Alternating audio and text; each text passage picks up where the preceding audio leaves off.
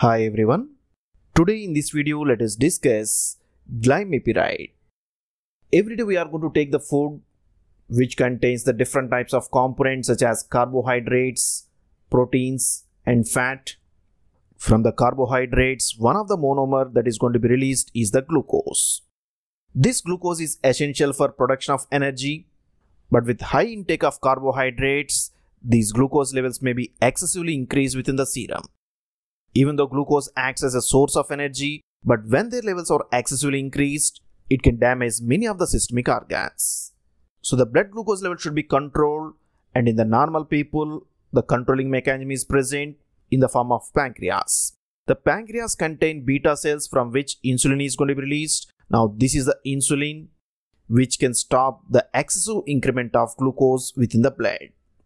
The insulin can counteract the glucose actions. Glucose is transported into the muscle where it is going to be utilized for production of energy or it can be taken into the liver where it is going to be converted into one of the storage form glycogen. And some of the glucose can also be utilized to produce the ATP molecules. In this way, insulin can control the glucose levels within the blood. So this is the case of people with normal insulin secretion. But in the patients with type 2 diabetes mellitus, the insulin is present within the pancreas, but it cannot be released properly. Otherwise, some resistance can be developed towards the action of insulin. In such conditions, the glucose levels within the blood can be excessively increased so that they are out of control, resulting in the hyperglycemia. So in the patients with type 2 diabetes mellitus, the insulin secretion is somewhat reduced along with development of insulin resistance. In such patients, we can give one of the drug glimepiride. This drug can act on the pancreas where it is going to increase the release of insulin. Now, insulin can counteract the actions of glucose. In this way, glimepiride can control the glucose levels in the patients with type 2 diabetes mellitus. Glimepiride is one of the sulfonylurea. It acts as insulin secretagogue where it is going to increase the secretion of insulin from the beta cells of pancreas. So it is indicated in the patients with type 2 diabetes mellitus. In the type 1 patients, this glimepiride is ineffective as most of the beta cells are destroyed. So in such patients, glimepiride cannot control the glucose levels. That's why this drug is indicated for the type 2 diabetes mellitus. And this drug is a second generation sulfonylurea with somewhat less side effects and compared with the first generation sulfonylureas, this drug produces somewhat less hypoglycemia. And this drug is a long acting sulfonylurea so this drug is having around 24 hours duration of action. That's why glimepiride is given as once daily preparation. So today in this video, we are going to see how this drug acts, what are the important precautions, side effects, doses, all these things we will discuss in this video. First of all, let us see the chemical nature of this drug. So this is the structure of glimepiride. Here we can observe a sulfonylurea which is attached to the phenyl ring. So it is a phenyl sulfonylurea. Now let us see how this drug acts. Glimepiride acts on the beta cells of pancreas. So on the beta cells, GLUT2 receptors are present which are the transporter for the glucose. When the glucose levels are excessively increased, the glucose can enter into the beta cells through the GLUT2 receptors. Now within the beta cells, the glucose can be converted into glucose 6-phosphate by phosphorylation. So here a specific enzyme is present within the beta cells that is the glucokinase which can convert the glucose into glucose 6-phosphate. This is the rate limiting enzyme where glucose is converted into pyruvate by glycolysis.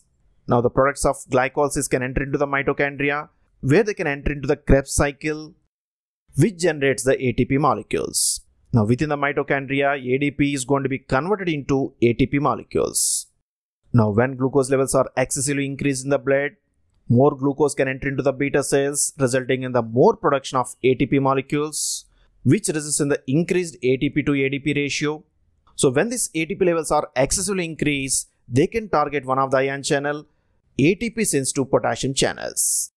These ATP sensitive potassium channels are having ATP binding site. Now ATP can bind to ATP sensitive potassium channels which blocks these potassium channels so that potassium cannot go outside. This results in the opening of voltage gated calcium channels. Now calcium can enter into the beta cells resulting in the depolarization This depolarization results in the release of insulin from the beta cells.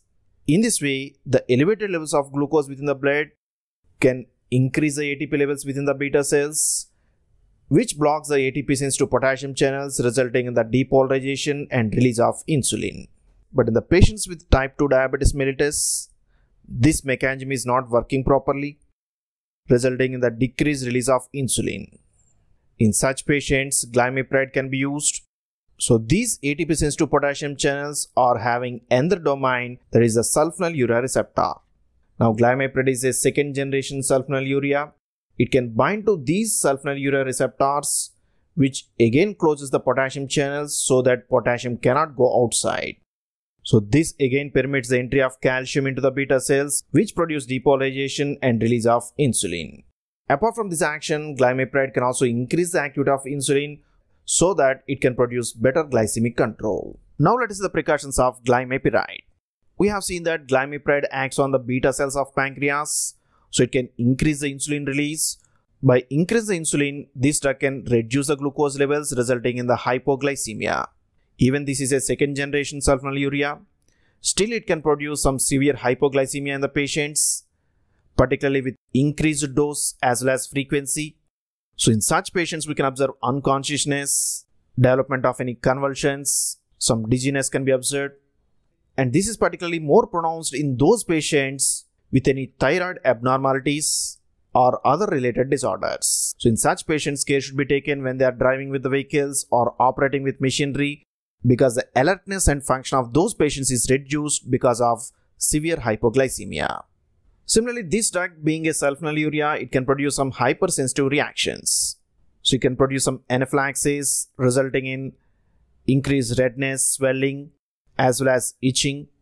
It can also produce angioedema resulting in the swelling of lips, tongue, pharynx. Even it can produce some serious hypersensitive reactions such as Stevenson-Johnson syndrome which can affect the skin and soft tissues. So any hypersensitivity is going to be developed towards the glimepiride, then this drug should be contraindicated. Similarly, this drug can produce hemolytic anemia. Particularly, this is more pronounced in the patients with glucose 6-phosphate dehydrogenase deficiency. In such patients, this drug should be carefully given as it produces significant hemolytic anemia. And finally, this drug should be carefully given in the patients with any cardiovascular disorders as glimepiride can reduce the cardiac functionality. What are the side effects? The important side effects are mainly related with hypoglycemia. So it can produce some headache, dizziness, hypoglycemia. It can also increase the weight resulting in the weight gain. Allergic reactions such as pruritus, urticaria can be observed. It can also produce a hypersensitivity resulting in dyspnea, difficulty in breathing as well as hypotension. How it is given? This drug is available as tablet form at different strengths such as 1 mg, 2 mg and 4 mg. Initial dose of the drug is variable from 1 to 2 mg given as once daily. Since this drug is a long-acting sulfonylurea, it is given as once daily preparation. The dose can be slowly escalated after 1 to 2 weeks of treatment based on the glycemic control. The maximum dose can be achieved such that it is given at a dose of 8 mg as once daily. So that's about this drug glimepiride which is a second generation sulfonylurea.